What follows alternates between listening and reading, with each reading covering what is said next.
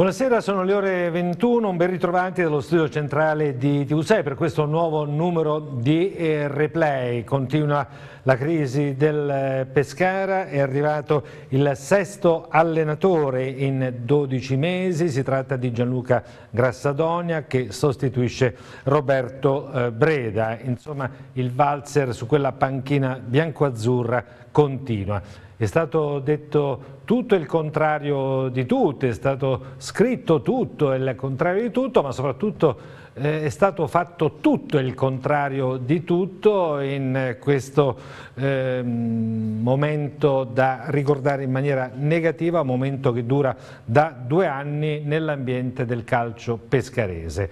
Fare calcio in questa maniera con molta improvvisazione, senza progettualità, soprattutto eh, senza eh, competenze, si rischia davvero di precipitare.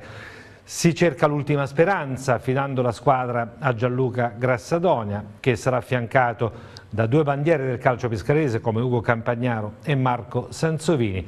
Mancano 15 partite alla fine e analizzeremo anche questo momento con il terzo allenatore della stagione, dopo Oddo e Breda, tocca a Gianluca Grassadonia. Saluto Andrea Costantini qui in postazione, buonasera Andrea, ci sono posticipi questa sera?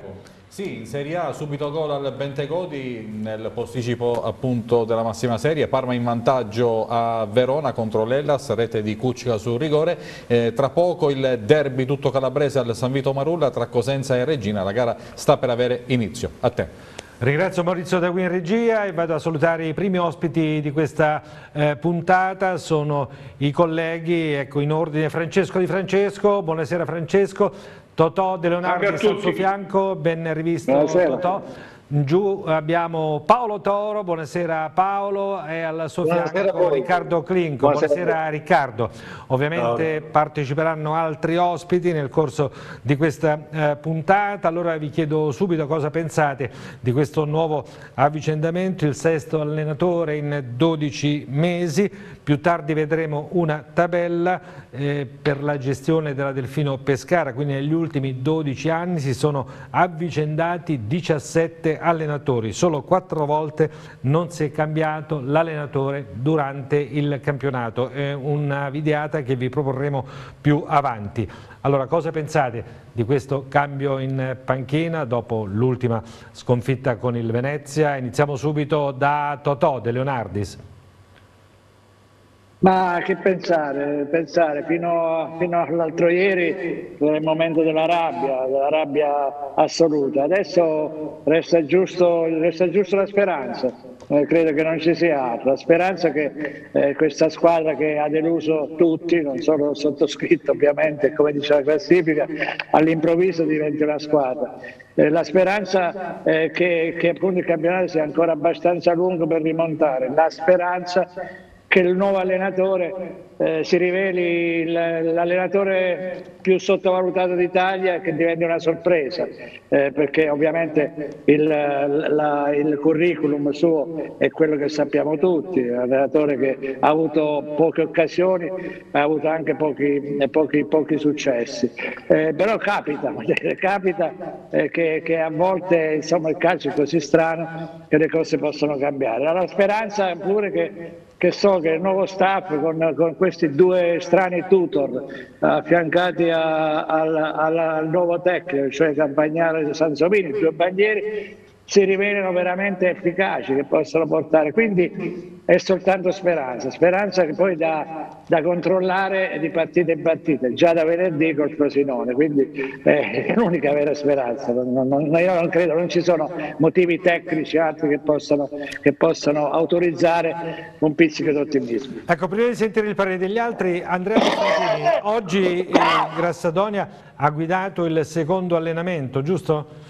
Oggi Grassadonia è stato in campo, eh, a un certo punto ha guidato una parte del gruppo, non tutto il gruppo perché una parte eh, dei giocatori, soprattutto i difensori, sono stati eh, presi da Ugo Campagnaro che li ha portati in un altro campo e Campagnaro ha allenato soprattutto direi l'uscita palla, eh, quindi come affrontare il pressing della squadra avversaria, come eh, uscire appunto con il fraseggio tra i eh, difensori, tra i centrali eh, con la collaborazione evidentemente dei quinti, quindi eh, è stata una fase piuttosto intensa, almeno 15-20 minuti eh, nei quali Campagnaro ha curato soprattutto la fase difensiva ma in particolare l'uscita eh, palla. Dall'altra parte poi Grassadonia ha proseguito il lavoro con il vice Felice Mancini confermato nel ruolo e con l'altro collaboratore tecnico, l'altra bandiera, il sindaco Marco Sansovini con centrocampisti e attaccanti. Bene, allora Francesco, la scelta di Grassadonia, cosa ne pensi? Mm,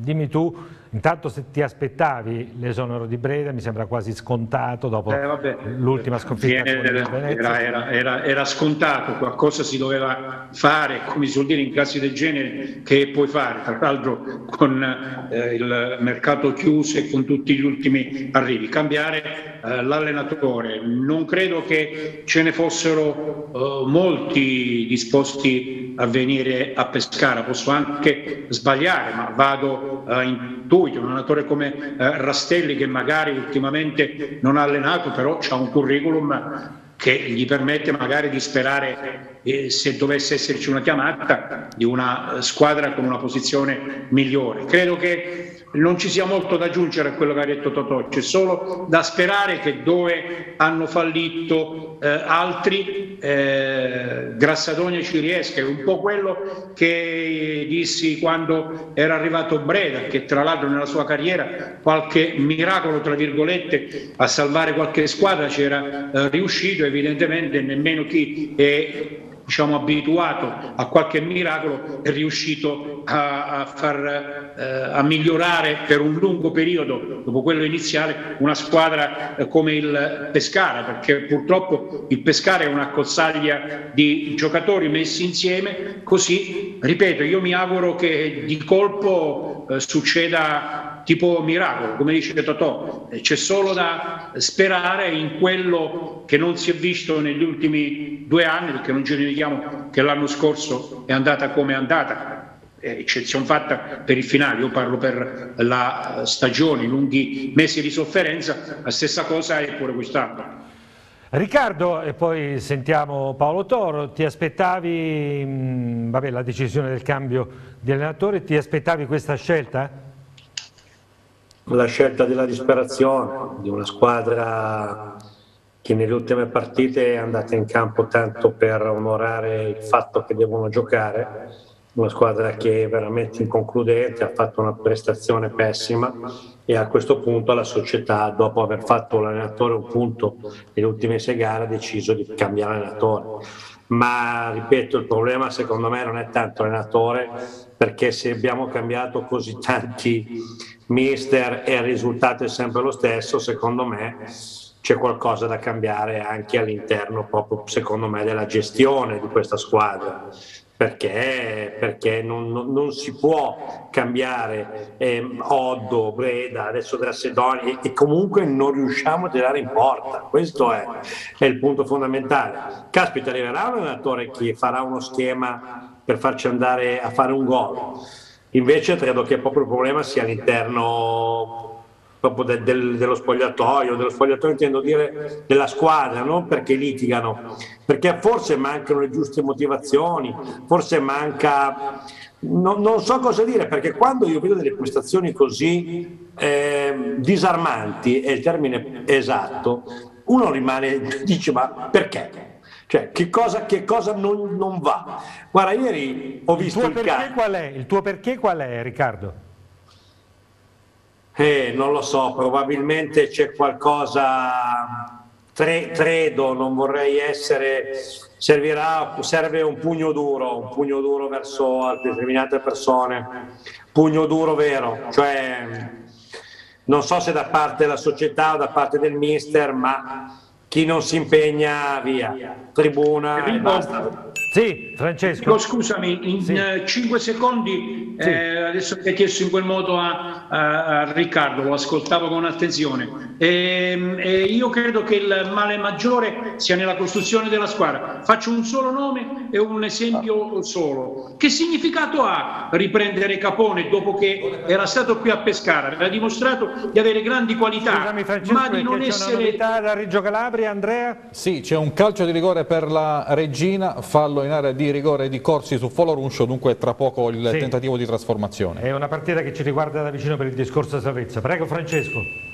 E concludo, eh, ossia eh, riprendere Capone, lo si era visto, giocatore con grandi qualità, discontinuo, eh, una la gioca e dieci no, tante volte è sembrato anche svogliato nella prima esperienza, l'abbiamo visto qui. Quindi quando io costruisco una squadra, qual è la spiegazione tecnica del riprendere Capone? Non è che uno adesso vuole criticare perché è meglio eh, che ricordiamo. Io personalmente sono, sono fatto altri, così. Altri sempre grazie. Più evidenti. Se, sì, sempre grazie. Non ha reso, ma prima di Capone ci sono tante Beh, criticità oh, aspetta, molto aspetta, più dico, detto, faccio un esempio, sì, il primo sì, che mi viene in mente, pensiero, che potrei fare un elenco di almeno 20 giocatori capito, inutili da prendere perché si sapeva che erano più dannosi che utili. Allora, Posso fare una, una, un'aggiunta? Vantaggio della regina Enrico, Menes su calcio di rigore. Regina in vantaggio, grazie Andrea. Allora Paolo Tori, il tuo perché legato al discorso che faceva Clinco, quale può essere? Cioè perché questa squadra eh, non sembra una squadra, eh, encefalogramma piatto, non riesce a, a, a dare un'idea di gioco in campo, c'è un perché dal tuo punto di vista?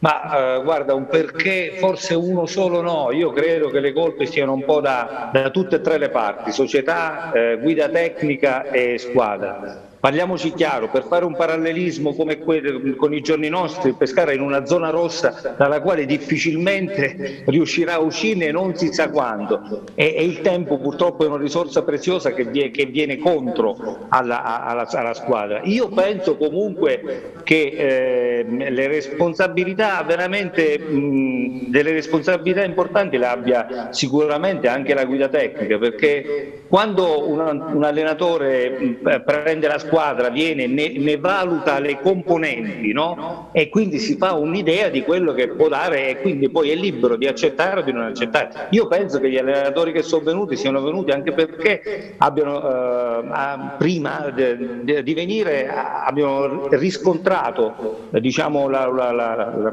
il, il valore tecnico della formazione. Ricordiamoci, secondo me, che un po' di allenatore l'ho fatto tantissimi anni fa, è la funzione, del, la funzione gestionale dell'allenatore, il carisma che deve avere, i principi giusti e le corde che deve saper toccare, sono dei fatti fondamentali.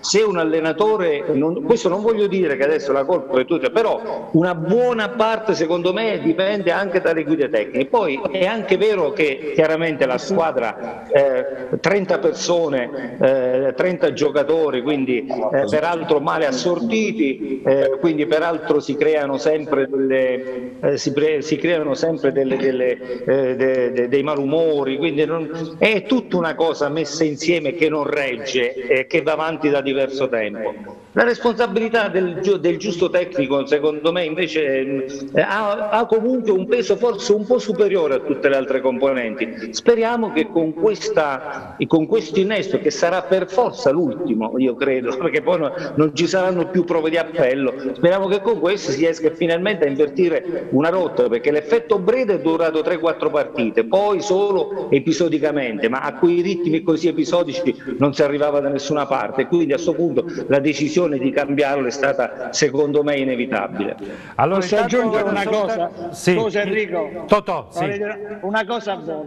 Cioè, non dobbiamo mai, mai, dimenticare che il Pescara in 21 partite ha schierato 38 giocatori, ne mancano due, cioè Basit e, e, e, e l'attaccante che è arrivato adesso, diventano 40. Tutto questo, tutto questo in 21 partite. Mi spiegate che cacchio di squadra è stata, è stata costruita.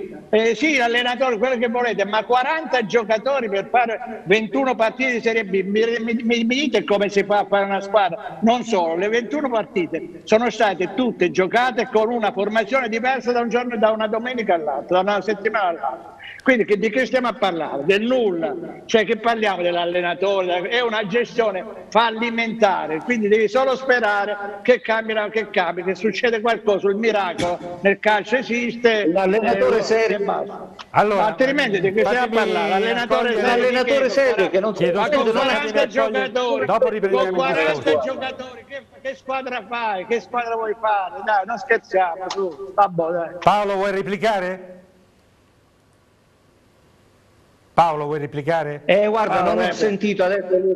No, ho detto solo che con 40 scusami, non, non fai nessuna squadra. Questo ho detto, ho detto Paolo, scusami. Paolo, questo è vero. E questo, eh, allora, che vogliamo parlare? È, questo vogliamo parlare? È, l'errore della, è l'errore che ha fatto la componente società. Poi ci sono i giocatori e poi anche l'allenatore che può essere pure, se, non, se, vede che è un gruppo numericamente mal assortito, eh, numericamente è, è, troppo allargato, eh, mica, mica cioè, anche, per, anche, lui allora fa una scommessa. Cioè io dico, eh, un, un, tecnico um, che um, professionalmente preparato, se non se la sente, dice alla società questo Bene, fa, se ne va. Se allora, ne va. Eh, intanto vado a salutare il primo ospite, l'agente dei calciatori Alessandro Alberti. Buonasera Alessandro. Buonasera Enrico, buonasera a voi tutti ospiti. Mm. Ciao. Ti chiedo subito Ciao. perché ovviamente la serata puoi immaginare non è tranquilla come ovviamente nulla è tranquillo in questo momento.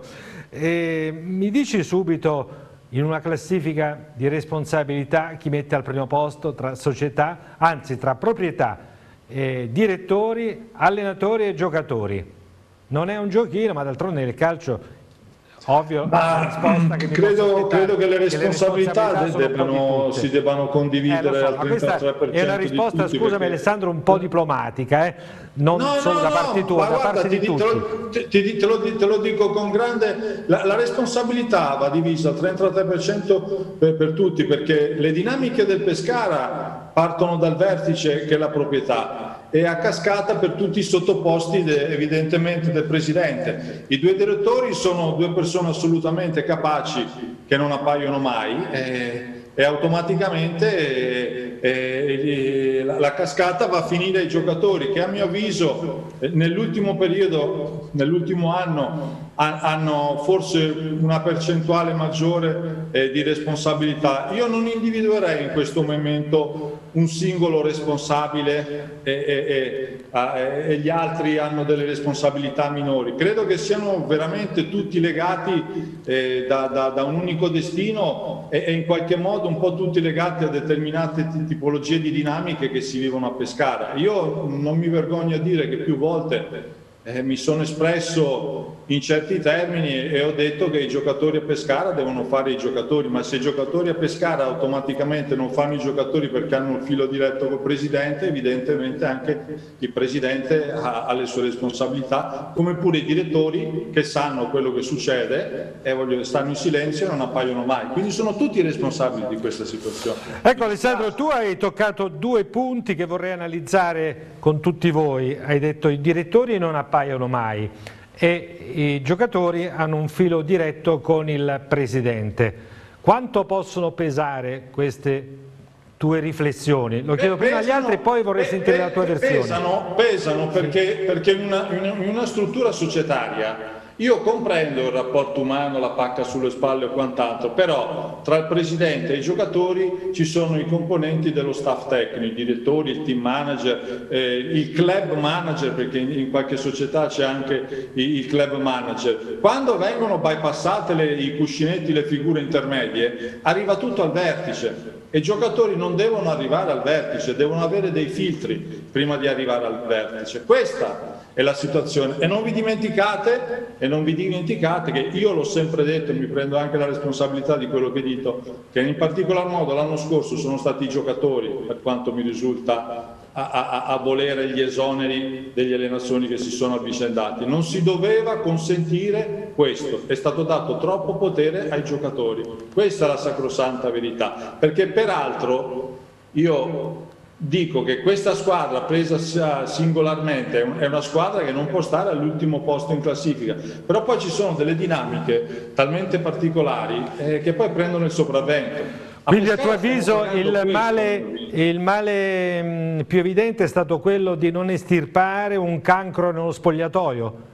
Allora il tema, il tema è che nel Pescara ci volesse l'oncologo, che è una cosa che io ho detto l'anno scorso, era dettata dal fatto che era palese che ci fossero dei soggetti che, che remavano contro gli allenatori di turno, perché c'era sempre una motivazione tale per il quale Zauri non andava bene, le grottaglie non andava bene, forse non andava bene neanche Sottili, forse non andava bene nemmeno il ritorno di Pillon, perché c'era il problema del preparatore atletico. Non si doveva consentire di far scegliere i giocatori l'allenatore. Questo è stato il problema di fondo. E poi indiscutibilmente il fatto che il campionato è finito a Ferragosto eh, crea una scusante, un alibi perché far mercato in dieci giorni era impossibile, però andava fatto un ripulisti totale, totale. totale. Senti, eh, mettiamo che c'è un fondo di verità in quello che tu dici, no? perché poi la prova tangibile non c'è, però ad esempio Breda aveva un buon rapporto con i giocatori, e però i risultati non sono arrivati lo stesso. È lì, ma è, ascolta, io mi faccio delle idee, perché peraltro su Pescara ci vivo da 36 anni, mi faccio delle idee in base a quelle che sono le, le mie sensazioni, le mie emozioni, il mio vissuto, quello che respiro eh, su Pescara e quella che è la mia professione. Hai detto bene, hai detto bene, però eh, soprattutto dopo la partita di Ascoli, perché il, diciamo che la, l'appannamento, il calo di tensione dopo l'arrivo di Breda c'è stato simile a quello che, che c'è stato in, nella guida tecnica anche degli altri allenatori. Peraltro dopo la partita di Ascoli, dove sembrava che il Pescara eh, si fosse rigenerato, ci si era esaltati, era rientrato Ante che aveva fatto un'entrata in tech, perché era una, era una, era una partita nella, nella, nella, quale la squadra qualcosa a, aveva dimostrato sotto profilo caratteriale. Io mi permesi di dire, non so se con te o con qualche altro tuo collega, attenzione signori, re, soprattutto relativizziamo la vittoria di Ascoli con il valore dell'Ascoli guidato da Delio Rossi. Eh vabbè, quella è stata una partita sono permesso di dire, mi auguro che non ci sia lo stesso calo che ha avuto il Pescara l'anno scorso dopo la vittoria contro la Juve Stabia e ci ho preso in pieno.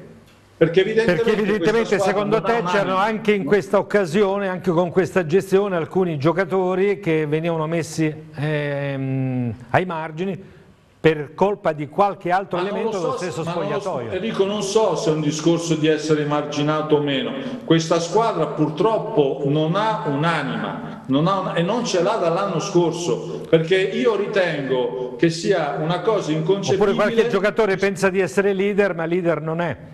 Ma non ci sono dei leader, ma neanche il capitano è un leader. Fiorillo non è un leader perché ha rifiutato di andare a giocare in Azerbaigian, perché non, non ha, per me non è un giocatore carismatico che trascina gli altri, che poi chiede scusa ai giornalisti o quant'altro. Non è neanche lui un leader perché indossa da sette anni la maglia del capitano. Il leader è colui il quale ha un, qualche, ha un ascendente nei confronti dei propri, dei propri compagni di squadra. Non ci sono leader o se pensano di essere dei leader non lo sono.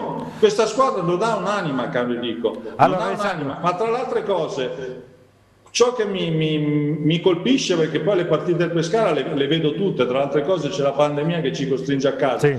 A volte noto delle sfumature sui primi piani. Questa squadra non ha il sangue agli occhi, sono giocatori che non hanno fame, non hanno fame, sono giocatori Ascoltami, che Alessandro, poi tu hai sottolineato perché... ma non è neanche un discorso legato ai prestiti, è un discorso di personalità, non so come te lo devo sì, dire. Come no, Prima hai detto, però poi l'altro problema è che i direttori non appaiono mai. Ma i direttori, il problema dei direttori che non appaiono mai è perché nel momento in cui i giocatori sanno perfettamente che il ruolo dei direttori viene comunque delegittimato in ultima analisi perché decide tutto il presidente, è, è, è automatico tutto ciò. Secondo me a fianco alla squadra c'è bisogno di qualche dirigente autoritario, autorevole e soprattutto i giocatori non devono più avere l'opportunità di parlare con il presidente tutti i santi giorni. Questo è il grande problema del Pescara. Però sull'operatività Aggiungo che ad esempio Breda Raddoppio è un allenatore... Regina. Scusami Andrea? Raddoppio Regina Foloruncio. Regina 2 Cosenza 0. Allora, ehm, sull'operatività, ripeto, ha scelto Breda, Bocchetti ha scelto Grassadonia. L'apparire eh, pubblicamente è relativo, bisogna vedere il rispetto del ruolo. No. Ma bisogna vedere soprattutto una domanda che ti invito a fare. Chiedi ai giocatori del Pescara cosa pensano dei direttori. E lì avrai, avrai, avrai, la lettura di ciò che sto dicendo. Ma perché l'hai chiesto tu, scusami? Eh? Alessa, gliel'hai chiesto tu Alessa? No, io non gliel'ho chiesto, no, stai dicendo, no, eh, ma tu stai dicendo cose tutte costruite, va bene, benissimo. Ma non è che sto dicendo, non è che ma sto sì, dicendo... o dici le cose o non le dici, Alessa, di che stiamo a parlare tu? Eh, e dici che quelli parlano troppo col presidente, io questa cosa non la so, la sai tu, dilla, per, dilla come no, l'hai saputa, non ho capito. Ma, no, ma non, vabbè, sì, possiamo dire eh, del caso, si può dire tutto e il contrario di tutto. Tu hai detto la tua. E poi... il contrario di tutto. Io ti dico, esatto. caro, caro, eh. caro Antonio, che a mio modo di vedere, perché può essere giusto o sbagliato, credo che una struttura autoritaria come quella del Presidente debba avere un filtro prima di entrarci a contatto. Credo questo. Sarà giusto? Sarà sbagliato. Ma non lo io sto contatto, non capisco il contatto. No, questo non lo capisco, scusami. Scusa se insisto. Eh no, non lo, o, o, o, lo dici chiaramente, l'hai sentito tu, te l'hanno detto che hanno questo, te l'ha detto il Presidente, chi te l'ha detto? O dici le cose come o no, se te poi è quello che pensi, la penso in questo modo, però non sai, non, cioè non, non, non capisco il senso. Sono delle sensazioni. Ah, esatto, benissimo, sono delle sensazioni, esattamente, benissimo. Basta. Capito, tutto qua. Io credo che uno dei problemi potrebbero essere veramente troppi prestiti di persone, di giocatori che sanno che magari il prossimo anno non sono troppi, più. come ve lo devo ripetere? E poi sono tantissimi. È stata costruita male, ricostruita peggio. Allora poi cercate chi sono i responsabili, però il problema è quello, è, è, è, è chiaro come la luce del sole, è stata costruita male, senza seguire quelli che erano gli indirizzi dell'allenatore del momento. È stata ricostruita peggio senza sentire che quelle che erano le, le, disposizioni del nuovo allenatore, perché l'allenatore che ha fatto sempre il 3-5-2 solo quello sa fare, non, non, è che ha cambiato, ha fatto gli acquisti per cambiare il modulo, di fatti l'ha fatto, l'ha fatto una partita e si è tornato indietro. Quindi voglio dire è stata costruita male, ricostruita peggio e questo è il risultato. Fine. Poi cercate chi sono i responsabili, se parlano i giocatori parlano con il presidente oppure se non parlano, ma dai, ecco, ma tu quando oh. dici è stata ricostruita male ovviamente eh, puntare l'indice è un sì. modo di dire verso la proprietà, verso i direttori oppure eh, globalmente è stato fatto un eh, discorso in campagna acquisti negativo? Ma secondo me perché, perché, la squadra che è stata ricostruita non era quella che poteva andare per Breda.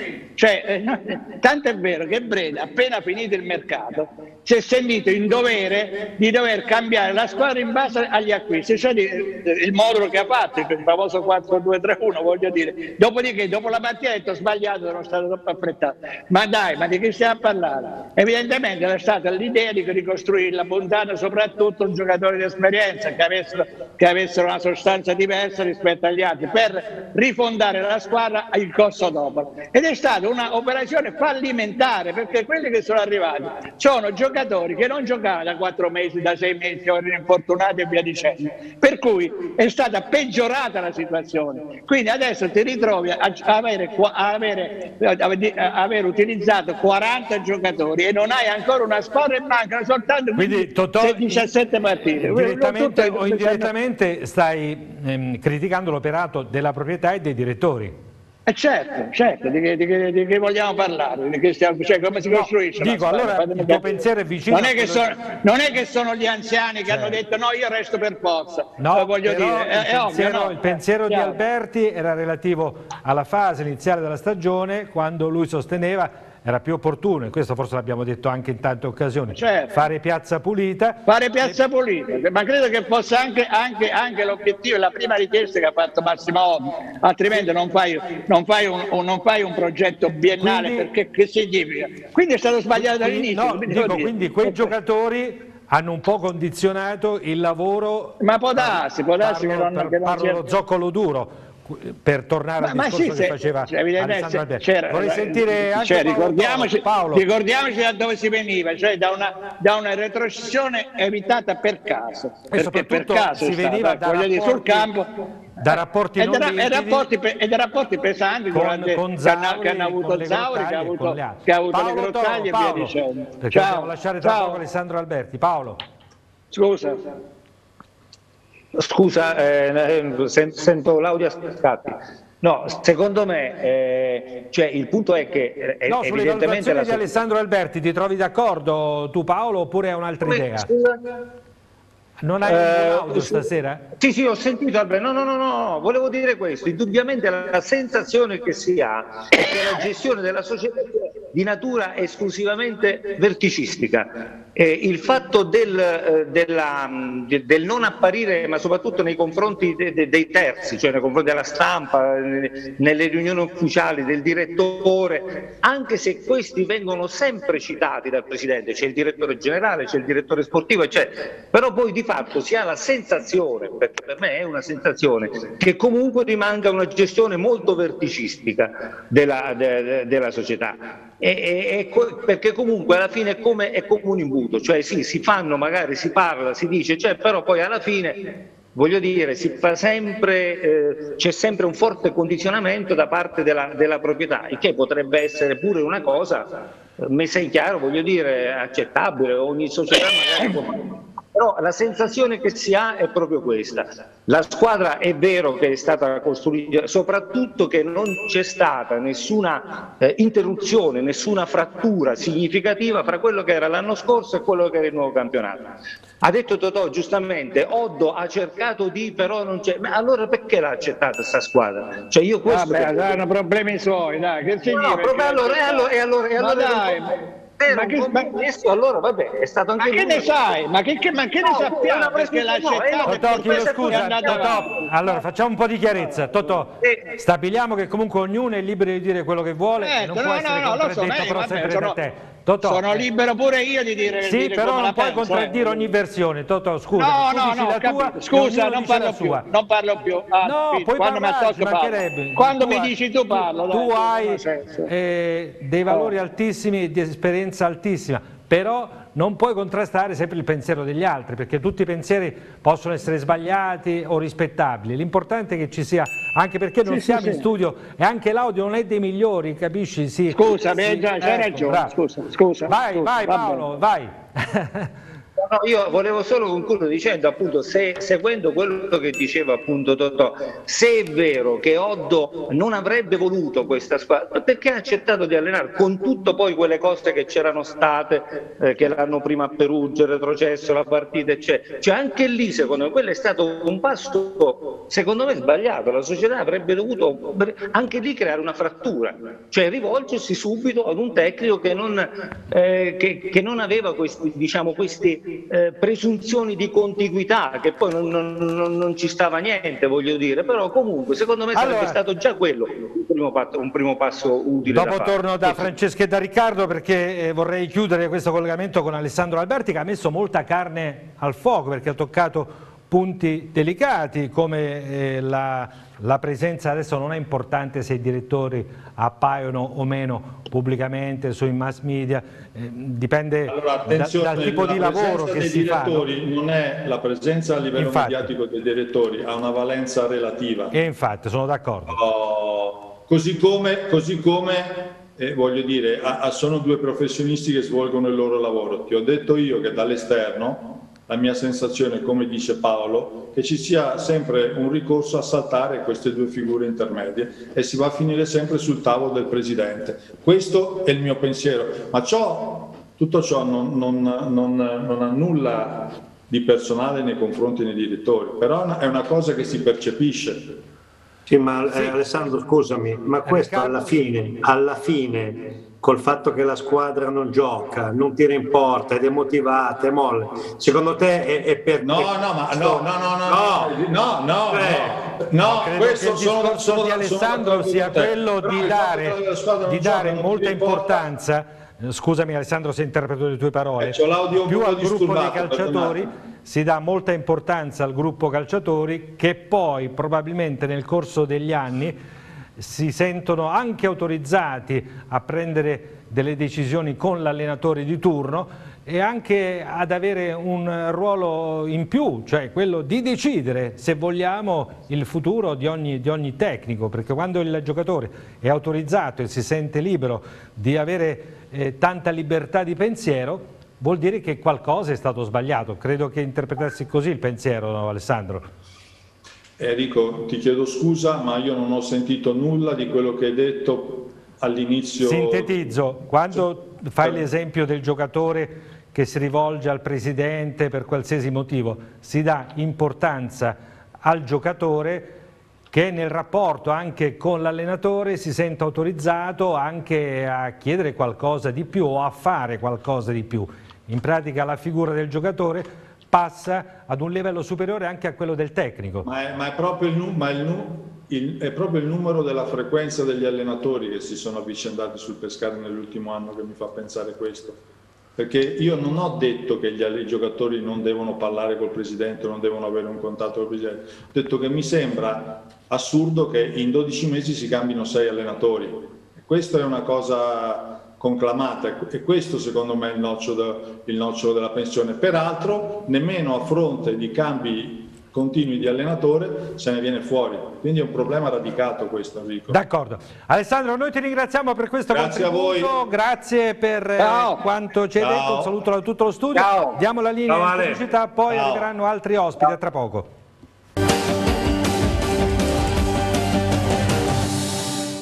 Se cerchi qualità, assortimento e il miglior prezzo, Notti d'Oro a Montesilvano. Oltre mille metri quadri di esposizione di materassi e biancheria per la casa. Esclusivista Blue Marine, Borbonese, Louis Joe, Bellora, Bossi, Fazzini, Somma, piumini Down Step, materassi Tempur, Dorelan, Simmons, Mistral, Pirelli, Permaflex e letti Bontempi. Notti d'oro, vieni a trovarci a Montesilvano in corso Umberto 271, telefono 085 44 58 973. Notti d'oro, materassi e biancheria per sognare. Il super bonus 110% non è per tutti, non è per sempre. Il super bonus è difficile da ottenere. Lo trasforma in realtà Aragon Invest. Energy Service Company certificata a Pescara, in via Cetteo Ciglio 56. Continua ad abitare i tuoi sogni, ma a costo zero. Info aragoninvest.eu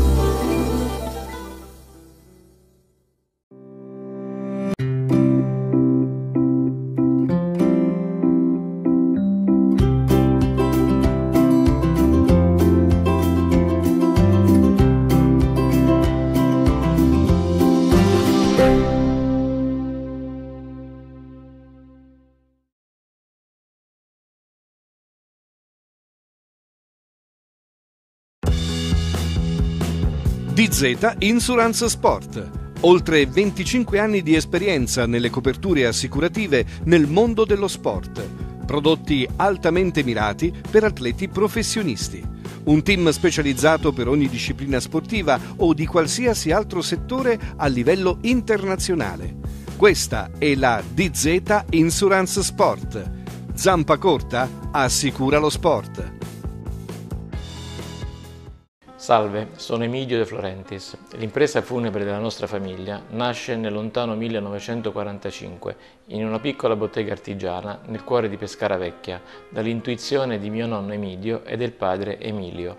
Da quel momento, da 72 anni, la tradizione continua e dal 1995 io e mio padre Alfredo abbiamo aperto la nostra impresa che a Pescara ha sede in via Spaventa, nella zona dello Stadio Adriatico. Emidio e Alfredo De Florentis. 085 66 021 dal 1970 Time Rivestimenti è un'azienda sempre all'avanguardia nel settore delle ristrutturazioni generali, interni ed esterni in tutta Italia. Realizziamo per privati ed aziende lavori di rifinitura di ogni genere, ristrutturazioni chiavi in mano, attività commerciali, impianti sportivi, impianti idrici ed elettrici, arredamento su misura, controsoffitti e cartongesso, isolamenti termici ed acustici, strutture esterne, pergotende e tetti in legno, arredo urbano in genere. Su tutti i social trovi sempre online le nostre nostre novità. Contattaci su timerivestimenti.it.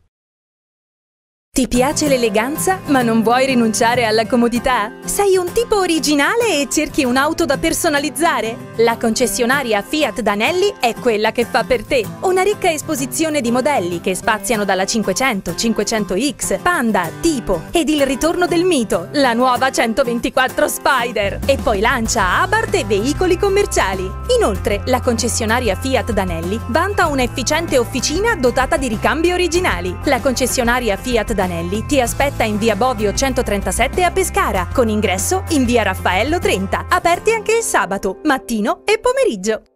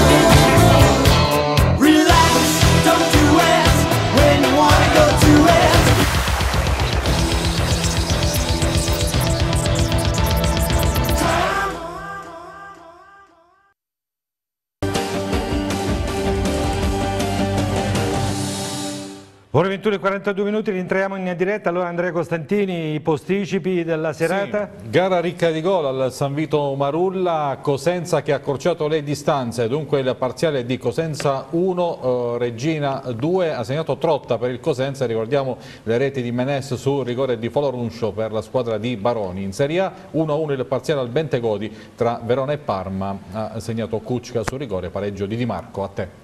E in questa seconda fase della trasmissione andiamo a salutare il direttore sportivo della Ternana, Luca Leone, ex DS del Pescara. Buonasera Luca, ben rivisto e complimenti intanto per i risultati che state acquisendo in questo difficile campionato. Come stai Luca? Buonasera a tutti, grazie. Bene, bene, dai, sto bene. Allora, sei capitato proprio in una bella seratina, molto calda perché nella prima parte si sono accesi ovviamente i discorsi inerenti al Pescara e sembrerebbe la tua presenza che cade un po' a fagiolo come si dice perché di cosa si è parlato finora in questa prima mezz'ora? Del ruolo dei direttori del Pescara che eh, molti criticano perché non appaiono molti perché vengono scavalcati da giocatori che si rivolgono al Presidente per tante cose, giocatori insomma che hanno condizionato anche il cammino dei vari allenatori negli ultimi due anni. So che è un discorso delicato adesso coinvolgerti perché tu hai lavorato in questa società, conosci bene un po' tutte le dinamiche, cosa ti senti di dire a tal proposito perché poi quando le cose vanno, vanno male mi insegni e ci insegni che eh, tutti sono sulla stessa barca con le rispettive responsabilità nei rispettivi ruoli. Luca. Mazza, oh, ma è beccato in pieno stasera. Sì, no, non era mia volontà, ma... È... Quello... no, no, innanzitutto... No, no, vabbè, tanto è... è... Tanto parliamo di calcio, sono un uomo di calcio, quindi sei sì, no, no, a tutte no, le situazioni. Manca. Pescara la conosci? Ma è anche, è anche, quello che ho sofferto io in quei due anni e mezzo che, che ero a Pescara, no? perché poi eh, purtroppo quando le cose non vanno bene eh, tutti entrano nel calderone, no? ma come è giusto che sia, perché comunque sia sono sempre ruoli di, di responsabilità, di decisioni, di, di trovare la, la, la, soluzione migliore per il bene della squadra, per la società, quindi a volte non sempre si riesce a, a trovare diciamo, la soluzione giusta no? in quel momento, perché poi sono sempre momenti che bisogna viverli, no? bisogna capire il perché succedono determinate cose, perché non arrivano risultati, perché perché le cose non vanno come tutti vorrebbero e quindi è allora ti faccio subito una domanda Luca poi sentiremo anche sì. gli altri amici tu avevi nella tua esperienza pescarese autonomia nel tuo lavoro? Ma io sì, eh, sicuramente sì perché comunque sia ci, ci, ci, ci confrontavamo spesso eh, anche l'anno di Serie A abbiamo insieme a Peppino, perché io poi reputo Peppino per me come un maestro, quindi io avevo, per me era una persona che, che, che, era bellissimo parlare di calcio perché lui secondo me è stato uno dei più grandi scopritori di talenti de, del nostro calcio, quindi eh, noi parlavamo spesso e tanto. E, è normale che eh, trovare, ripeto, le, se voi pensate al primo anno di Serie A non, non penso che c'erano giocatori scarsi a Pescara. Purtroppo era una serie di situazioni dove non riuscivamo a vincere le partite, che, che poi era una cosa diversa.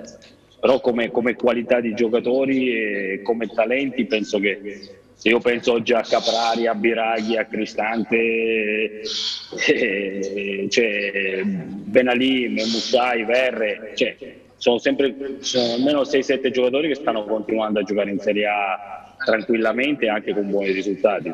Senti, Luca, scusami, scusami eh, ma mi insegni tu eh, velocissimo che eh, un conto è eh, guardare i singoli giocatori, un conto è costruire una squadra. Non è detto che 7-8 giocatori bravi, tipo i 7-8 che hai nominato, li metti insieme e fanno una squadra sì, però, venivano, però in, quel, in quel momento storico erano anche la maggior parte dei giocatori erano anche quelli che avevano diciamo, vinto con grande merito il campionato di Serie B, no? se penso a Benalì, Memusciai, Verre, cioè, in quella squadra mancava diciamo, la Padula che era stato il capocannoniere, dovevamo sostituire la Padula e che non è semplice perché se tu pensi che la Padula che ha giocato con te è stato acquistato dal Milan per sostituirlo non era sicuramente semplice trovare un giocatore che potesse garantirti la quantità di gol che aveva fatto la Padula in Serie B, no?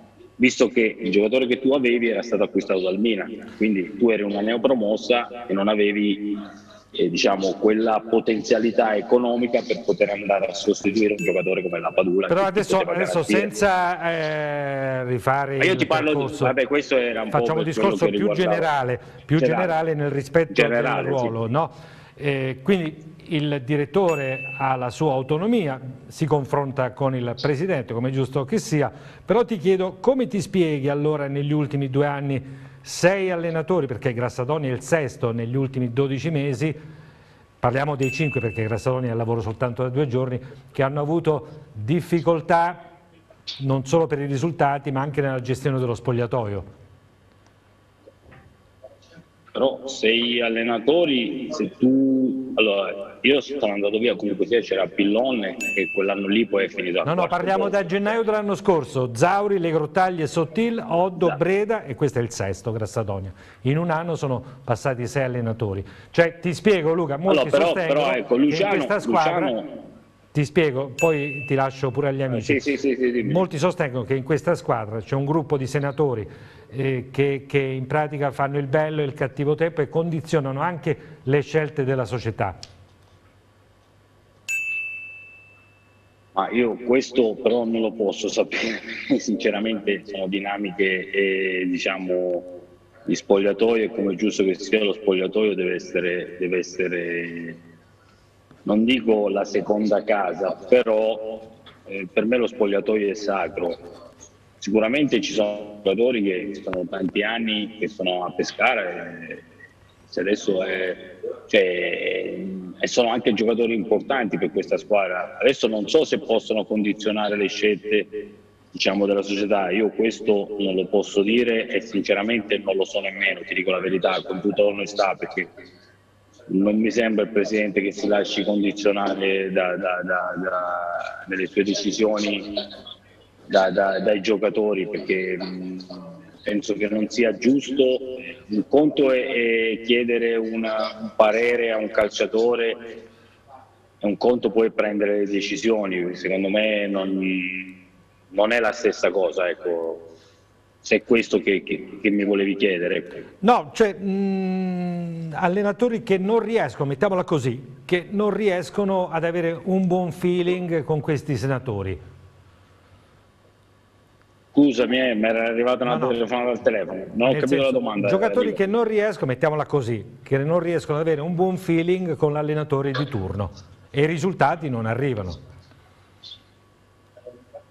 Beh, questo è un altro discorso, eh, però sono discorsi diciamo prettamente di spogliatoio e, e adesso sinceramente mi viene anche difficile parlarne perché Beh, non, certo. non, so di che cosa si tratta. è, è, normale che, eh, ripeto, come ho detto prima, quando le cose non vanno bene... Eh, la colpa per me è di tutti, non, è, non è, può essere o solo dell'allenatore o solo dei calciatori o solo della società.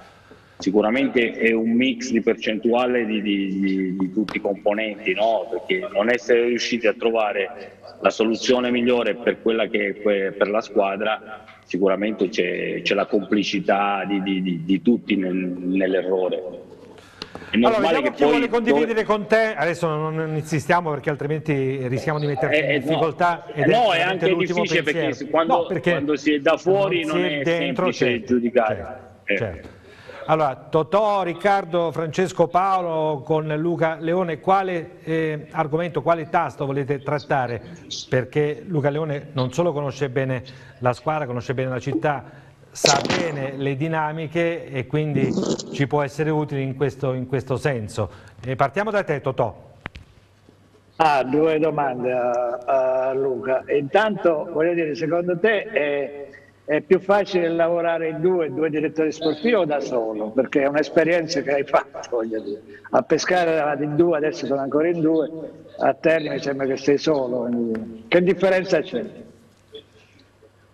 Ma eh, dipende quando, chi sono le persone con cui eh, devi lavorare. Ti posso dire che io sia per quanto riguarda Giorgio, che poi è una persona che insomma, mi conosce da, da, da, bambino, sia per quanto riguarda Peppino, per me era solo che un piacere lavorare con loro perché è anche un modo, a me eh, era anche un modo per, per confrontarmi, per avere anche una uh, un'opinione in più o avere due occhi in più?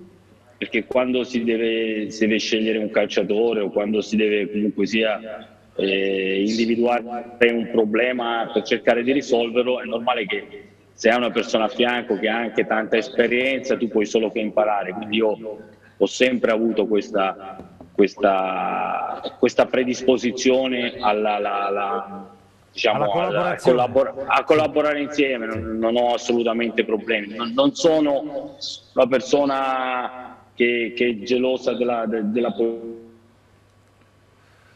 Intanto mentre Luca si è fermato un attimo è entrato un altro Luca, saluto Luca Cilli da Milano, collega di Sport Italia, buonasera Luca, grazie per aver accettato il nostro invito, tra poco ci collegheremo con te. Allora, ciao riprendere... Enrico, buonasera, buonasera a tutti ciao, voi. Può ciao, ciao ragazzi, buonasera Luca a tutti. Leone stava ciao. completando, eccoci direttore. Sì, no, ripeto, cioè, per me era, era, non era un problema, ecco, assolutamente.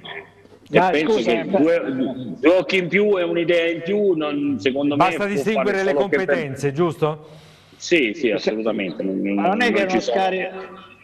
Non è un modo per scaricare responsabilità anche, può essere, il rovescio della medaglia, quello di essere in due, di avere meno responsabilità, meno di, rispetto al lavoro che stai facendo adesso a termine, voglio dire. Però, tipo, guarda, è diverso, il modo di lavorare è diverso no? Sì, però oggi i tempi sono cambiati, no? eh, non è più come una volta, adesso ci sono tante cose da fare, non è una squadra di calcio oggi e se vuoi essere eh, presente 24 ore su 24 in tutte le situazioni hai bisogno di, di persone. Se tu vedi in Serie A, eh, ma anche in Serie B, tutti i direttori sportivi hanno due o tre persone, altri due o tre direttori sportivi perché comunque sia Maldini c'è anche Ricky Massara che si occupa magari di una cosa e Maldini se ne occupa di un'altra. Se vai se vai a vedere Paratici c'è Federico Cherubini, c'è il fratello di Chiellini, c'è altre due o tre persone che lavorano sotto Insomma, di lui. tu dici meglio un lavoro di equip, no? Luca. Sì, ma perché magari se uno deve andare fuori una settimana a vedere partite, che ne so, in Argentina, in Brasile, c'è un'altra persona che sta sul campo a, a supportare l'allenatore. Quindi ci sono,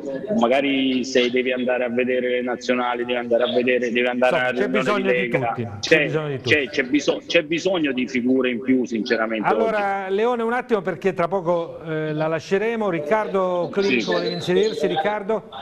Perché io volevo farti una domanda. Prima eh, Alessandro Alberti ha detto che il suo pensiero è che nel Pescara i due direttori fanno poco da filtro. Ti domando, visto che tu hai fatto il direttore a Pescara, è vera questa cosa? Cioè, se, se Galano, invento un nome proprio qualsiasi, fa qualcosa, va direttamente sul tavolo del presidente o passa per i direttori? Perché è importante questa cosa.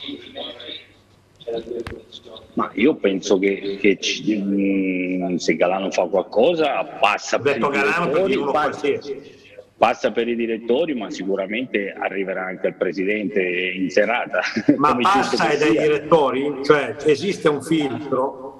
Ma come no? Penso di sì, cioè, anche perché penso che Giorgio sia tutti i giorni a campo, per quello, cioè, perlomeno quando c'ero io con Giorgio. Io ne sono Giorgio convinto anch'io, però visto che è stato detto che e tutto ciò che succede è uno, uno, al comando, fa tutto lui, volevo sapere, visto che tu hai fatto parte della società. Ma no, questo purtroppo poi un conto è, sono le chiacchiere, poi un conto è quello che, che succede realmente durante l'allenamento o durante diciamo, la quotidianità, no? però eh, è normale che, che, che, tutto passa per il direttore e poi se la cosa è grave arriva al presidente, ma se è una cosa che possono risolvere i direttori finisce là, finisce il percorso dal direttore, secondo me, come è giusto che sia, perché se no... Eh, allora, eh, dipende anche presenza... dall'importanza del problema. Sì, adesso, adesso non stiamo sottolineando sì, i ah, provvedimenti certo, disciplinari però... perché lasciano il tempo che trovano, qui parliamo di calcio che è più importante. Vorrei che sì. Luca Cilli salutasse Luca Leone perché tra poco ci lascia, Luca Cilli eh, ha avuto spesso eh, negli studi di Sport Italia anche ospite Luca Leone, ecco dall'esterno tu che, eh, che valutazione hai?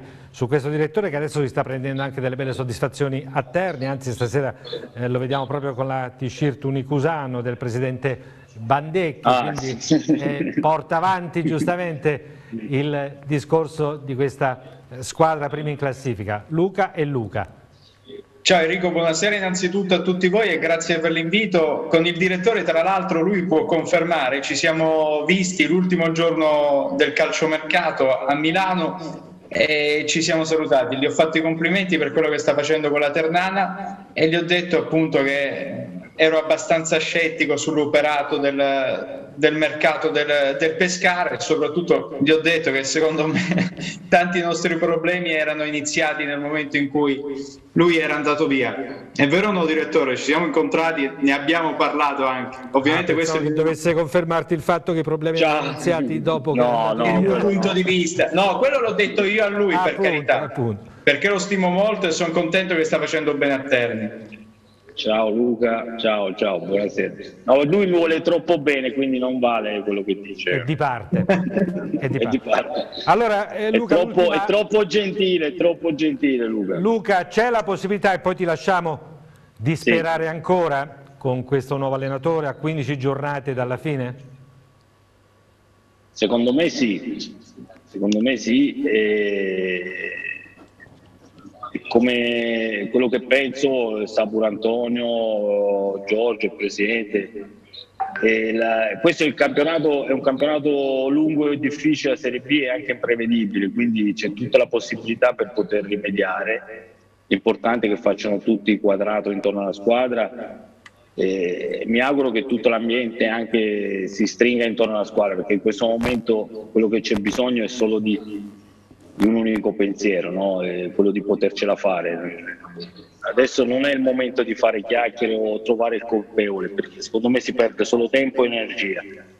Bisogna trovare un'unità di intenti e remare tutti nella stessa barca per cercare e pensare solo al bene del pescare, che questa è la cosa più importante, perché trovarla in quella situazione non è bello per nessuno specialmente poi in questo momento che, che dove c'è una situazione anche eh, al di fuori de, del calcio che non è, non è bella. Quindi eh, secondo me questa è anche l'arrivo del, del, nuovo allenatore spero che possa dargli un po' di, di, di, di solidità e un po' di, qualche sicurezza in più, ecco, quello che ha bisogno il pescare in questo momento è qualche sicurezza in più. Insomma il prossimo anno vuoi venire con la Ternana a giocare all'Adriatico ma in Serie B. Ecco, questo è l'augurio più bello che io possa fare questa sera, sicuramente. Luca per Leone, tutti e vale grazie. per me e vale per il pescare. Eh certo, grazie per aver accettato il nostro invito, un saluto da parte di tutti gli amici, ti lasciamo, sei nel capoluogo. Grazie a voi. Grazie Ciao, Luca. Leone e in Ciao, bocca al lupo ciao. per il tuo campionato. Grazie, salutiamo Luca Leone, andiamo in pubblicità e poi andremo avanti l'ultima mezz'ora con gli amici rimasti collegati, a tra poco.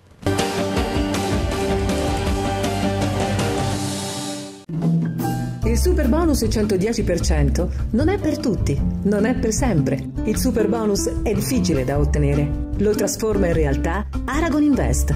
Energy Service Company certificata a Pescara, in via Cetteo Ciglia 56. Continua ad abitare i tuoi sogni, ma a costo zero. Info aragoninvest.eu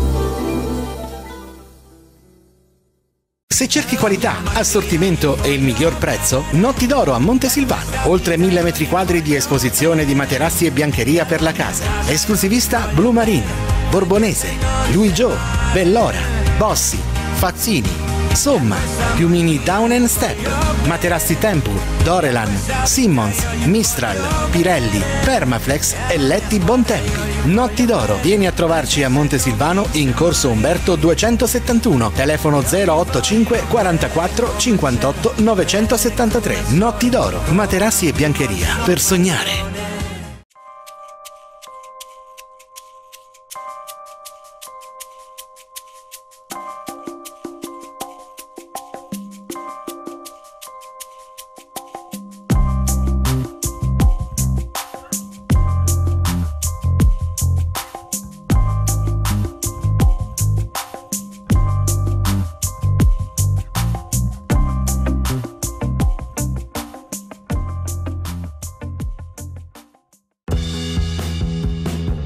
DZ Insurance Sport.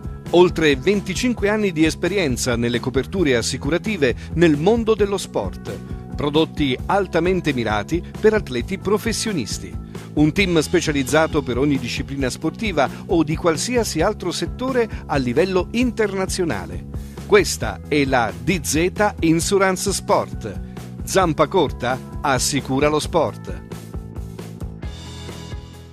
Dal 1970 Time Rivestimenti è un'azienda sempre all'avanguardia nel settore delle ristrutturazioni generali, interni ed esterni in tutta Italia. Realizziamo per privati ed aziende lavori di rifinitura di ogni genere, ristrutturazioni chiavi in mano, attività commerciali, impianti sportivi, impianti idrici ed elettrici, arredamento su misura, controsoffitti e cartongesso, isolamenti termici ed acustici, strutture esterne, pergotende e tetti in legno, arredo urbano in genere. Su tutti i social trovi sempre online le nostre novità. Contattaci su timerivestimenti.it.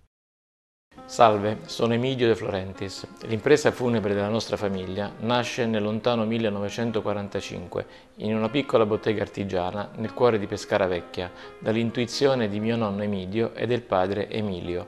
Da quel momento, da 72 anni, la tradizione continua e dal 1995 io e mio padre Alfredo abbiamo aperto la nostra impresa che a Pescara ha sede in via Spaventa, nella zona dello Stadio Adriatico. Emidio e Alfredo De Florentis 085 66 021 Ti piace l'eleganza ma non vuoi rinunciare alla comodità? Sei un tipo originale e cerchi un'auto da personalizzare? La concessionaria Fiat Danelli è quella che fa per te. Una ricca esposizione di modelli che spaziano dalla 500, 500X, Panda, Tipo ed il ritorno del mito, la nuova 124 Spider. E poi lancia Abarth e veicoli commerciali. Inoltre, la concessionaria Fiat Danelli vanta un'efficiente officina dotata di ricambi originali. La concessionaria Fiat Danelli ti aspetta in via Bovio 137 a Pescara, con ingresso in via Raffaello 30, aperti anche il sabato, mattino e pomeriggio.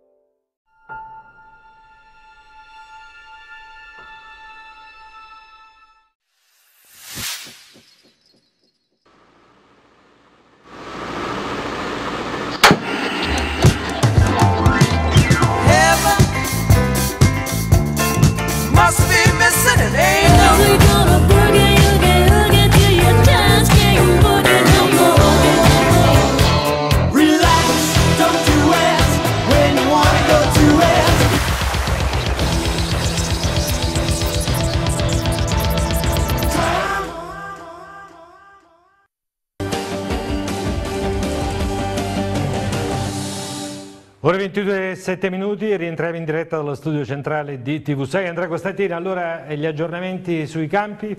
Sempre 1-1 eh, in Serie tra Verona e Parma, è iniziato poco fa il secondo tempo al San Vito Marulla, Cosenza 1, Regina 2. A te. Allora, dopo aver lasciato Luca Leone, è con noi collegato da Milano Luca Cigli. Allora Luca, prima di sentire il tuo pensiero insieme agli altri amici sulla situazione del Pescara, parliamo un attimo di Gianluca Grassadoni, il sesto allenatore in 12 mesi e la regia ci propone una videata preparata per capire cosa è successo in questi No, questa è la schermata su Grassadonia, l'altra sugli allenatori che si sono alternati sulla panchina della Pescara nella gestione da Delfino Pescara. In pratica si sono avvicendati 17 tecnici, eh, partiamo dal 2009-2010 con Cucuredio Di Francesco, poi il 2010-2011 con Di Francesco in Serie B, la cavalcata di Zeman, poi i primi esoneri nel campionato di Serie A tra Stroppa, Bergodi e Bucchi, poi Marino e Cosmi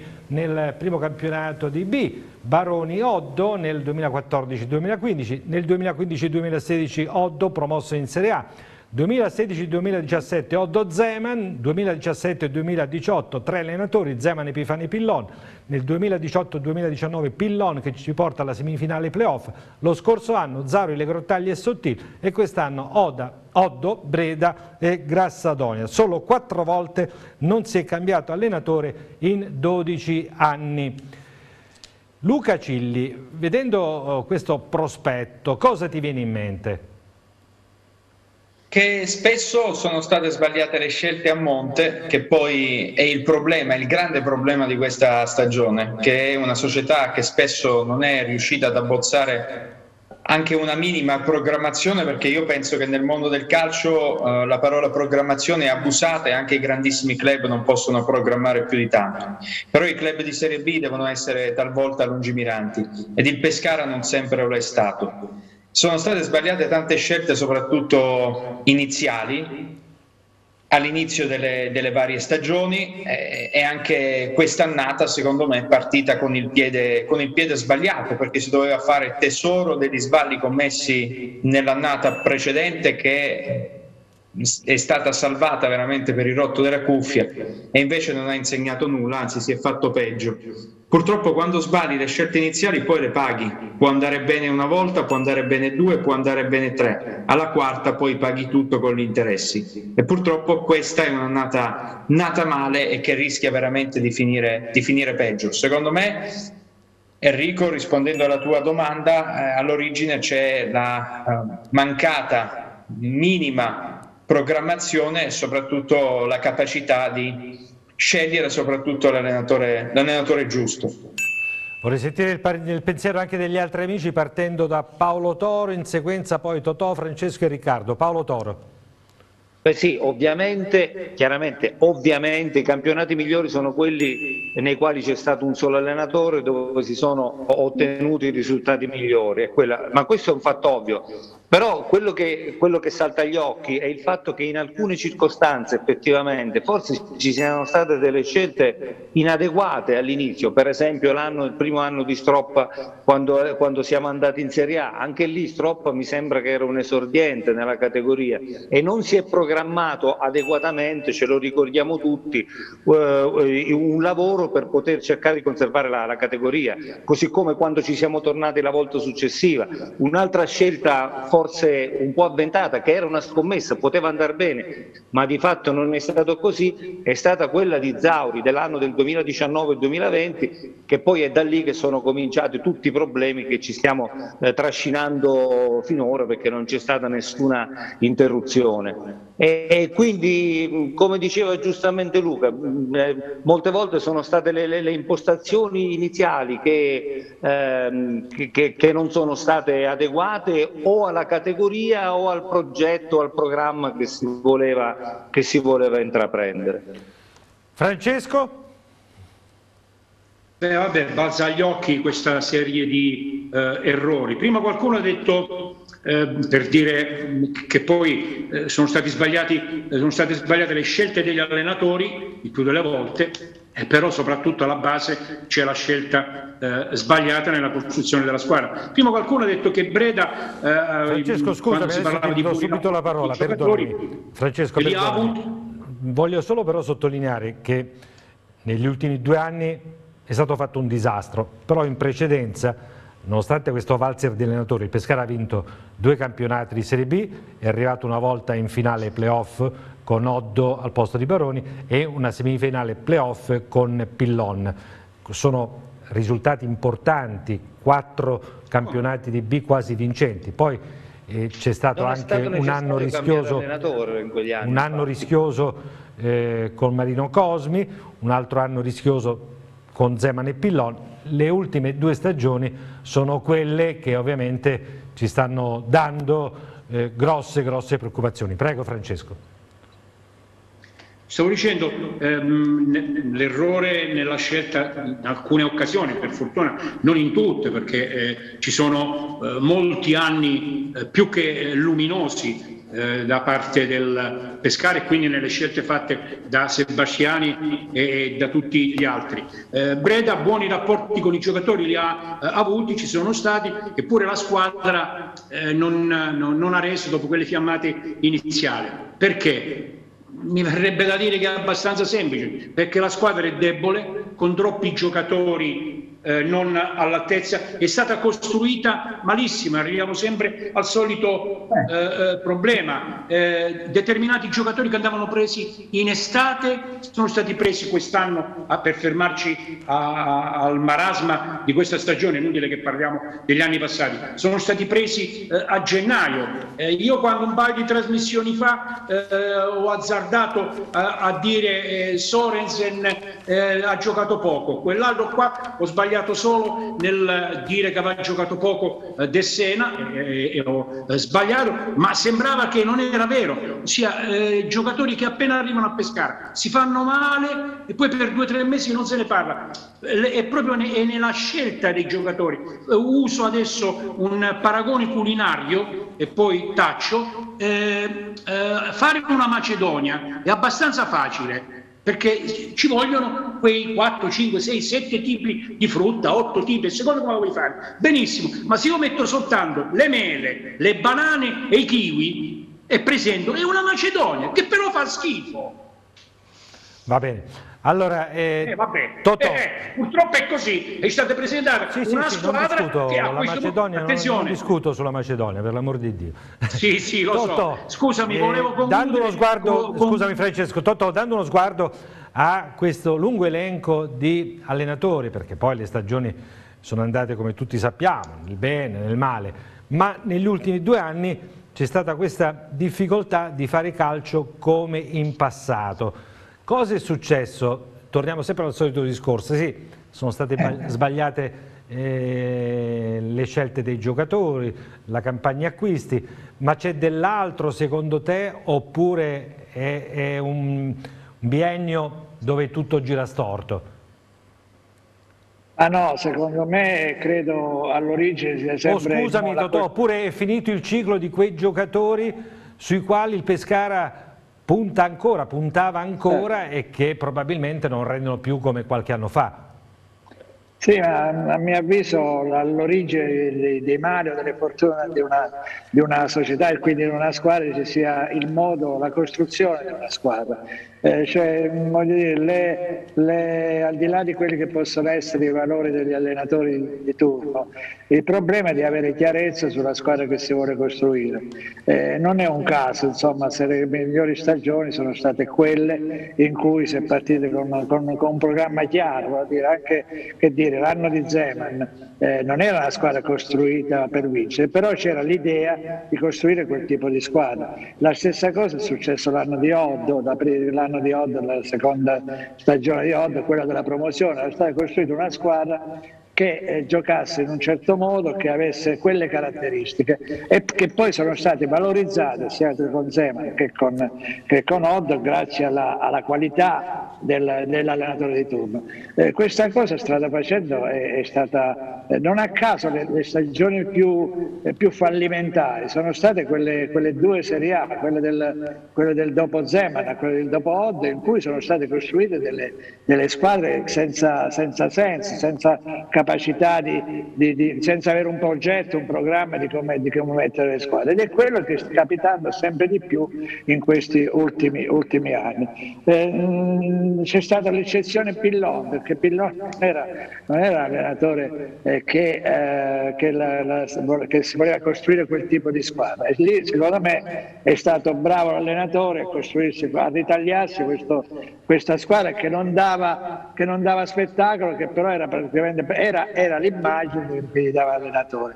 E quello che non è successo poi negli ultimi due anni. Noi abbiamo visto eh, questa squadra cambiare eh, dieci volte moduli eh, in ogni, a seconda dell'allenatore che passava di turno. Voglio dire, una squadra senza identità dall'inizio alla fine non può avere un futuro e questo è il dramma vero. E ah. qui l'errore, l'errore di costruzione, voglio dire, sì, ovviamente sì, chiama in causa in prima persona la società. Ma non so, sentivo delle voci, chi voleva intervenire? Volevo dire una cosa. Riccardo, sì. Io non sono d'accordo perché la stagione con Luciano Zauri era partita benissimo. Se la società al posto di licenziare Luciano mandava via quelle 3-4 teste calde che, eh, sono andate da sole, fammi terminare ti prego, probabilmente sì, non prendavamo, come si chiama, eh, il ragazzo, quel lì, il, eh, non mi ricordo neanche il nome di quello belloccio lì le grottaglie, le grottaglie. Sì. non prendevamo Sottile, contavamo con, con Zauri che era l'allenatore giusto. Stesso discorso per Orbo, se tu prendi Orbo lo devi difendere fino alla fine e andare avanti, perché non puoi perché sbagli due partite, prendere Breda, sbagli due partite, adesso prendi entrare Sedonia, prendi due partite. I piani di Pescara secondo me è partito bene con Zauri e bene con Orbo. Poi Orbo è stato un po' sfortunato, però bisognava dare tempo, tempo per poter fare, cioè, ma nessuno nasce che arriva e in 5 minuti Oddio. fa una squadra. Per me. Cioè, Luca, dire ecco, una piccola sì. replica, scusami sì, Enrico. Eh, veloce, Totò, perché devo Io non sto, non, sto, non sto, discutendo, sto discutendo la costruzione di una squadra, perché anche quella di Zauri era stata costruita male come, come, ben hai detto tu per tutta la stagione, nel senso che, che c'erano giocatori che non ci devono stare. L'errore è quello di come stata costruita, non dei risultati che hanno ottenuto gli allenatori di turno. È stata costruita male l'anno di Zauri, che, che poi andata, ha, creato problemi soprattutto a Zauri, e così l'anno di Oddo quest'anno in cui è andato male soprattutto a Oddo. Quindi stata, io dico che è stata costruita male. Ok, allora eh, eh, Luca Cilli, la scelta di Grassadonia come, come la vedi? Eh, Enrico, la vedo, la vedo come la carta della disperazione è stato preso un allenatore che eh, non ha fatto bene negli ultimi anni, che era fermo da un po' e che probabilmente era l'unico che eh, poteva accettare una situazione disperata. Non la vedo bene, non ho fiducia in questo allenatore, non ha fatto bene nel corso della sua carriera. Però, ripeto, ecco, in questa prima situazione... Maurizio ci ha proposto una videata con tutto il percorso degli ultimi anni di Grassadonia, è un percorso lungo, diciamo gli ultimi anni a Catanzaro è stato esonerato, a Foggia in due circostanze dalla prima alla quindicesima giornata, poi dalla ventinovesima alla trentottesima, retrocessione, prima con la Provercelli in Serie B, anche lì in due fasi, retrocessione. E vorrei a tal proposito coinvolgere proprio Andrea Costantini, che ha dei precedenti di Grassadonia con il Pescara. Sì, peraltro a Corredo abbiamo anche delle immagini, tre volte Grassadonia ha affrontato il Pescara proprio nelle due esperienze in eh, Serie B. Andata e ritorno quando lui era allenatore della Provercelli, risultato speculare perché ehm, all'andata ci fu la vittoria del Pescara per 3-1 e in quel caso c'era eh, Zeman sulla panchina del Pescara. Questo è il match di ritorno che iniziò con eh, l'espulsione di Crescenzi e poi la partita eh, si complicò per il Pescara che andò sotto per effetto di questo calcio di rigore, ci fu poi il pareggio di Macin e poi eh, la doppietta di Rajcevic nel eh, finale. Mm, Grassadonia poi ha rincontrato il Pescara nell'anno successivo, eh, nel corso dell'inizio della stagione, nel mese di settembre, Pescara-Foggia, Pescara di Pillon contro il Foggia di eh, Grassadonia, in, quella, in quel Foggia c'era Galano che si procurò un calcio di rigore per fallo di Macin, Mazzeo fallì il calcio di rigore, queste sono le immagini relative a quel fallo, Mazzeo fallì il calcio di rigore e poi nel finale il Pescara che aveva sofferto tremendamente l'organizzazione di gioco del Foggia di eh, Grassadonia riuscì a vincere con un colpo di testa di Gravion. Proprio nel finale qui l'assist di Memushai e il gol di Gravion. E questa partita diede là poi alla splendida eh, cavalcata d'inizio stagione del eh, Pescara di eh, Pillon quel Foggia era penalizzato di 8 punti sarebbe subentrato Padalino eh, a, a Grassadonia dopo qualche mese poi sarebbe tornato Grassadonia ma il Foggia è retrocesso lo stesso. E in quel Foggia c'erano Busellato e Galano. E Iemmello. Scusa Enrico, per, restare, sì. per dare a Cesare quel che di Cesare, per restare in cronaca di Grassadonia, eh, nell'esonero a Vercelli che poi fu richiamato, basta andare a leggere le cronache sui giornali di quel periodo, furono altri motivi, non tecnici, perché Grassadonia fu eh, esonerato e poi visti i risultati di chi era subentrato al suo posto fu richiamato e non riuscì a ottenere eh, la salvezza. Non sì. fu una questione tecnica. Sì, sì, hai fatto risultati... bene a sottolineare questo.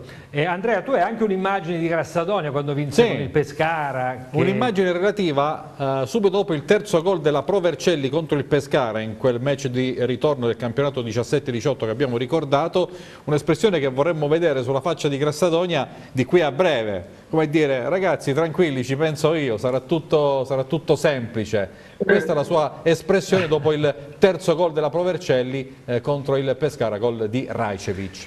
Luca che si accorge i giocatori che c'ha, a Sadone eh, eh, perché gli allenatori che arrivano ehm, restano un po' stupite dalla posizione in classifica del Pescara, vedono probabilmente la carriera di tali elementi e pensano come si fa a retrocedere con eh, Valdifiori, con eh, Galano, con Macin, con quello e quell'altro. E poi il campo però ci dice qualcosa di diverso.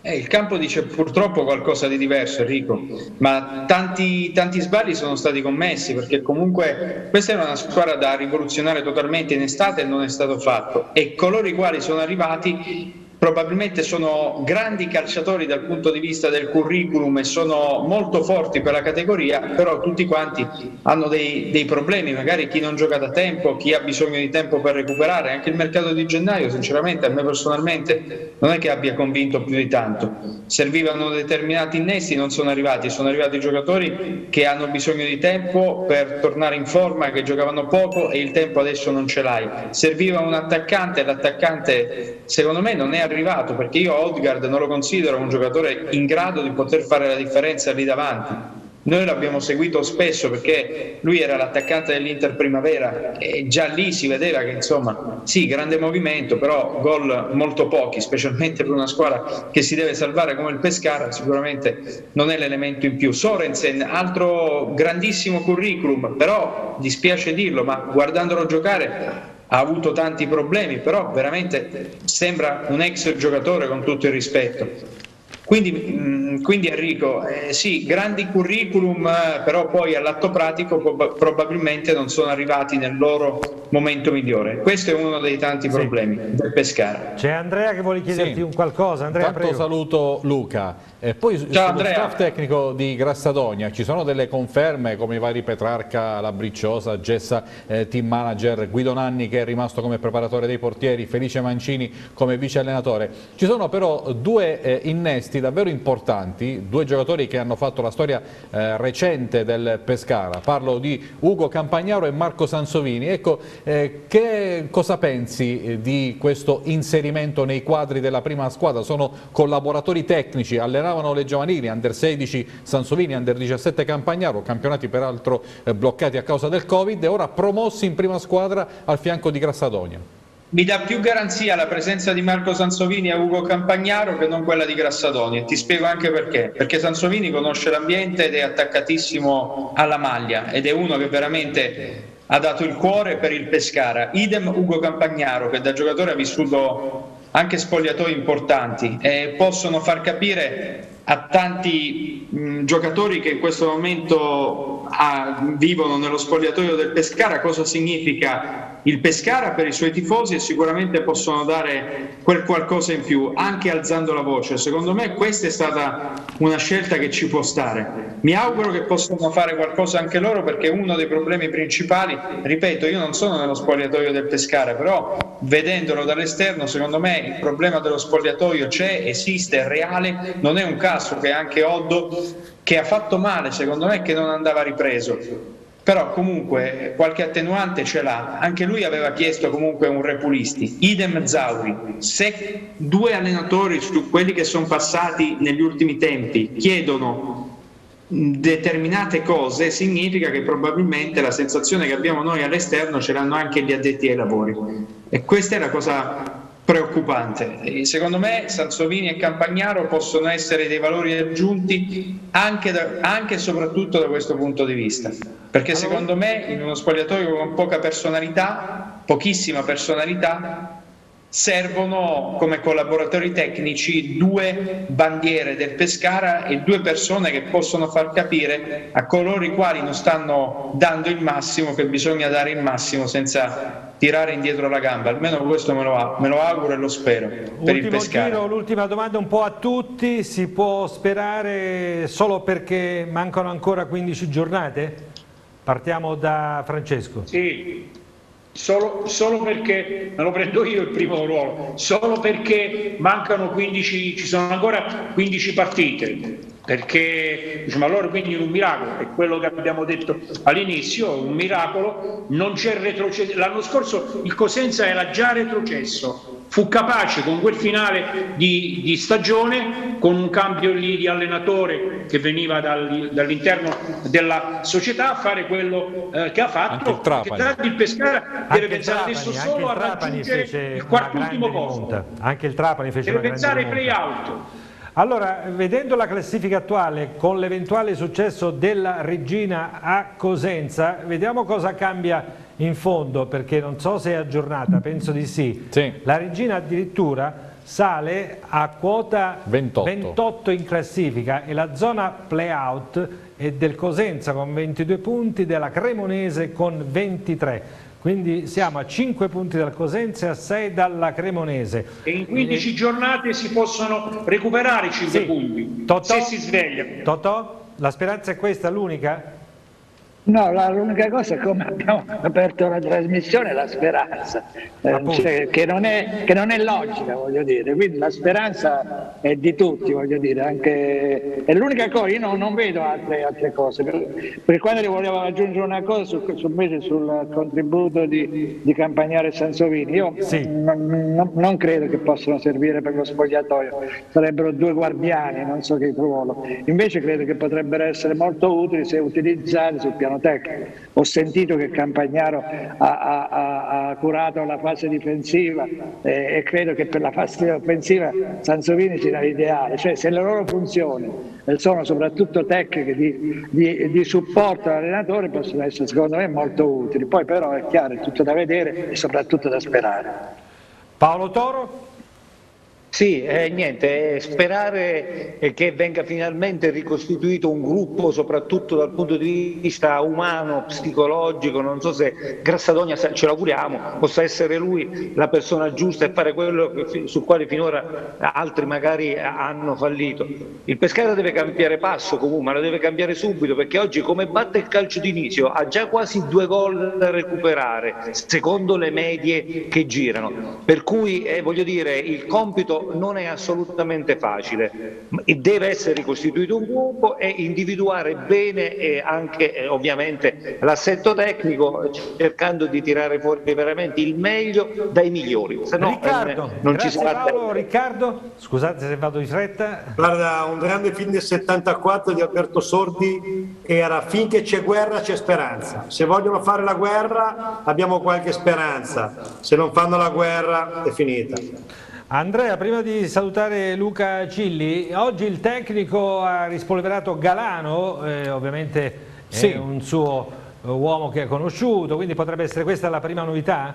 Sì, eh, diciamo che... Anche Drudi in difesa Gras- mi dicevi? Grassadonia sta lavorando in continuità sul modulo 3-5-2. Eh, tra le novità, Anche lui. Galano potrebbe giocare da punta accanto di uno eh, tra Odgard e Seter. Un'altra novità importante potrebbe essere l'impiego di Macin da mezzala, chiaramente con compiti offensivi, ma da mezzala con magari Valdifiori in regia e uno tra Busellato e, e De Sena. Busellato ci sembra al momento favorito, anche perché è un giocatore che eh, anche lui è stato allenato eh, da Grassadonia nel, eh, nel Foggia. Eh, quindi queste sono alcune delle, delle novità. In difesa bisogna vedere quelle che sono le condizioni di Trudi che sta migliorando. Sorensen oggi si è allenato a parte e bisogna anche valutare le condizioni di Bocchetti che non sono condizioni ottimali. I prossimi giorni ci diranno se Bocchetti potrà o meno recuperare. E poi all'esordio venerdì sera, ricordiamo, alle ore 21 a Frosinone, si ritroverà di fronte quel giocatore che corrisponde al nome di Iemmello Sì. che nel suo Foggia non è riuscito a fare il miracolo. Luca Cilli per chiudere, venerdì si torna in campo contro il Frosinone di Nesta, ancora fuori dai playoff, ma a questo punto non bisogna tanto badare al nome dell'avversario, ma vedere una squadra che comincia a avere un'identità. E soprattutto che, che ci metta il cuore, eh, che, che è mancato. E questa è la cosa maggiormente preoccupante. perché a questo punto forse i pareggi non servono più, conviene giocare. No, assolutamente Enrico, sono d'accordo con te, anche coraggio nel giocarsi le partite, con la testa giusta, però adesso come dici giustamente l'avversario non conta, devi andare a Frosinone sperando di fare una buona partita contro una squadra che secondo me sta rendendo meno rispetto a quello che, che può dare, quindi questo può essere un piccolo vantaggio. E il Pescara ha bisogno di continuità, ha bisogno di vincere qualche partita, soprattutto all'inizio per cercare di ricreare un po' di entusiasmo. La classifica, nonostante i disastri, è ancora lì che ti permette di poter eh, lottare per non, per non retrocedere, a patto che non, non sbagli più. Noi abbiamo questo grave handicap da adesso in poi, non possiamo più sbagliare. Mm, Come dicevano tutti, eh, è solo la speranza che in questo momento può, può tirare un po' su il morale per chi crede alle favole, per chi crede alle speranze. Poi però c'è il presente e l'importante è che cambi il presente perché sennò è veramente finita, purtroppo. È bello anche che nella tua casa di Milano ci sia quel gagliardetto, credo che sia del Pescara alle tue spalle. Questo sempre Enrico, sì Bravo, sì sì, Luca, questo bravo. sempre. Bravo, bravo. Lo andrà a Questo prendere sempre. Pavanati. Che dice La squadra del cuore non cambia mai. Andrea mi sta dicendo una cosa su Pavanati. No, eh, cosa? dicevo magari passerà Pavanati a Milano da Luca a prendere il gagliardetto. No, guarda, guarda, se passa e dovessi incontrarlo, gli dico personalmente di stare il più lontano possibile da Pescara. Però forse sarei accontentato dimenti- Luca perché Dimenticasse Pescara, ecco. Forse sarei accontentato perché proseguono le trattative tra Pavanati e il Novara. Oggi c'è stata una video call, ma c'è stata una fumata grigia, stando alle parole dei protagonisti. Però venerdì a Milano, negli studi di Pavanati, nel pomeriggio ci sarà un incontro proprio eh, tra persone fisiche, quindi tra Pavanati, il patrono attuale del Novara, Russo, ehm, eh, anzi Rullo, e quello precedente, Rullo. De Salvo, Rullo e De Salvo si incontreranno, c'è la possibilità di chiudere venerdì pomeriggio negli studi di Pavanati, potrebbe prendere il 100% delle quote del Novara, però aggiunge eh, Pavanati non precludo nulla, cioè, ci potrebbero essere anche altre soluzioni sempre col Novara. Beato A voi. Lui che ha voglia di sognare, così come sogniamo noi, una pronta ripresa di questo campionato. Luca Cilli, grazie da Milano. Continua Ciao Enrico, lavoro splendido su un abbraccio a tutti. Grazie, Ciao. Luca. E ringrazio Un abbraccio a tutti, Grillo, grazie. Paolo Toro, Francesco Di Francesca e Paolo. De Leonardis. Ci vedremo lunedì prossimo. Grazie Andrea Costantini. Maurizio a voi. da qui in regia. Speriamo, sempre speriamo, lunedì prossimo di cambiare qualcosa. Grazie per averci scelto.